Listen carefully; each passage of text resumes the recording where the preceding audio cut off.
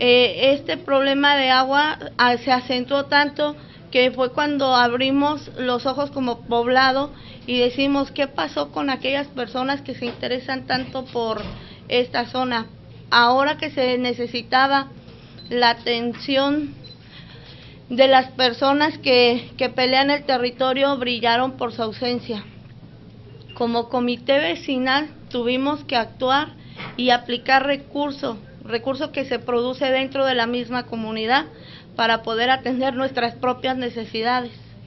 Es injusto que no nos definan, que no nos den ese derecho a identidad que, que ya que necesitamos y que es urgente. La gente no, no tiene programas.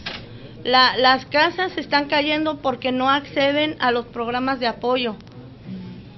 No hay, las escuelas están en, en el peor estado y todo, lamentablemente, todo lo que hay en el pueblo ha sido a costa del trabajo de los pobladores. ¿Por qué sufrir una necesidad de falta de agua si Santa Anita por años ha tenido sus propios pozos? ¿Por qué?